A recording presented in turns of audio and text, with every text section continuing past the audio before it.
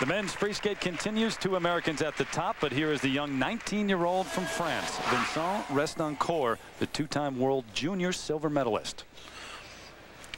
He's using the music from The Mummy, which was also used within the past year by Angela Nikodinov, Yamato Tamura, and Trifun Zivanovic. He also has a, a rather offbeat, off-centered style, as so many Frenchmen have had. Hmm. Laurent Tobel is offbeat. Is Candeloro? yes, to both of those.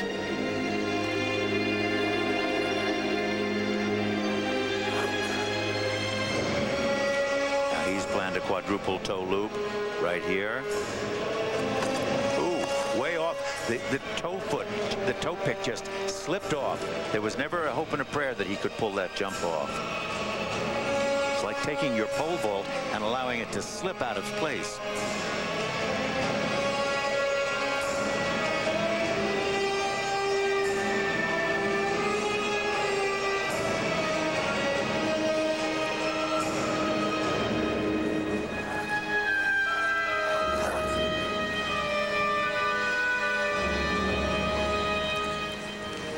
Now watch the entrance edge here on that triple axel. That was a a good sort of straight line. It was a two-jump combination. The second jump a little bit off center. Restencourt really came onto the scene last season, surprised everyone at Trophée Lalique, where he won a silver medal at one of the six competitions in the Grand Prix, and then we saw him at the World Championships, where he placed ninth. You know, when you go back in the history of French skating, even as far as Jacqueline Dubief and the current Abitbol and, Bernadis and pair skating, and Surya Bonaly, Laurent Tobel, Philippe Candeloro, they are all a sort of a rather unique sense of style, quite unlike any other country. Each of them different in their own right. Triple axel.